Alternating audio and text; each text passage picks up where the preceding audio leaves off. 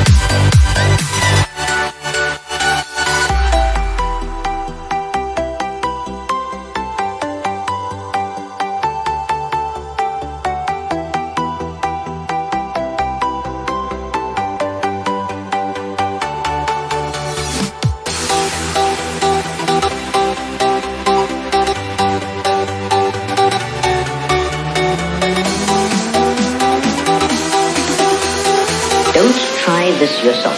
It's extremely dangerous.